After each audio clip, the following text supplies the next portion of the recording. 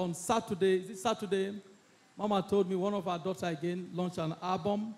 Amen. Come, come. Amen. Lord bless you. Amen. Give the Lord a big hand. Amen.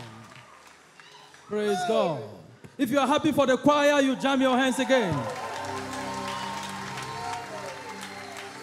Jam your hands, jam your hands. Amen. Okay, my daughter, you have been with us for how many years?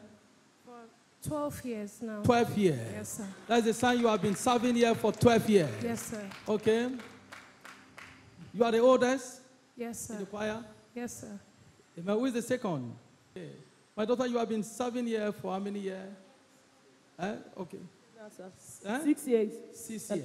Six years. Six years. And there's something good about her. She have never come to ask me for any favor. You know, she have never come to ask me for any favor. You have not even come. I, I've never seen her in the office here. You have not come to ask for any favor. Man of God, I want to do this. I want to do this. And it's, she's a widow. Yes, sir. The Lord bless you. Thank you, sir. Amen. Amen. How's your business so far?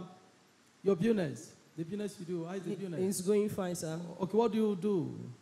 I'm dealing on building materials, but precisely at uh, canvas tampolin and PVC tampolin. Okay. Tomorrow morning, I give you 500,000 to support your business. Give the Lord a big hand. That is why. That is why. That's oh, oh, why. Oh, I know why. I go praise your name. Amen. Give the Lord a big hand. Amen. You know, for six years, I've never seen her. She is a widow, is the one that need money most because you need to pay school fees and all of that. She have never asked me for any penny. Give the Lord a big hand. Amen. Okay. My daughter, you 12 years. I give you 600,000. Waiting I do and make you love me so. Waiting I do and make you love me so. You died Celebrate God. Amen. It's God I give it to them, not to Male. Celebrate God. Okay. Two of you, two of you, tomorrow morning by 10, you meet with Pastor Yes. He will give you your money. Give the Lord a big hand and celebrate them. Celebrate them.